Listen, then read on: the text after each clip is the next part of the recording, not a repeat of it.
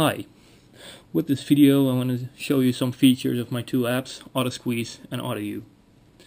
AutoSqueeze is a Squeezebox tasker plugin you can use to control your squeeze boxes, which is up here, and AutoHue you can use to control your Philips Hue light bulbs.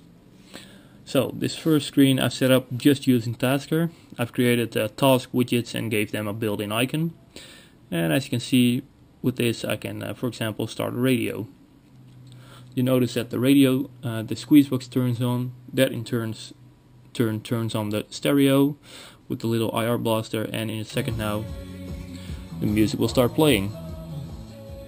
I'll turn it down by hand for now, but you can also of course use the volume buttons. Then I could also pause the music or play it again.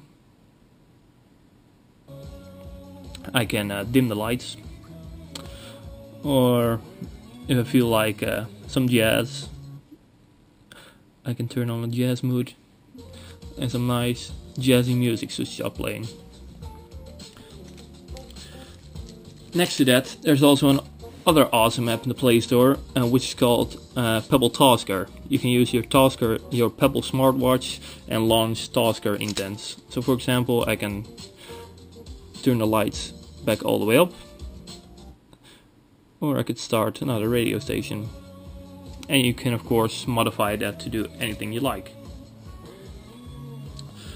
Finally there's Auto Voice, which is also quite an awesome app. You can use voice commands to uh, do anything that Tasker can do, so also control my two apps.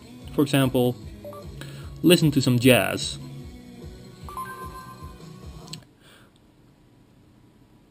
The light turns back down low and the jazz music should start playing. Now, what if this place was a strip joint? Oh yeah.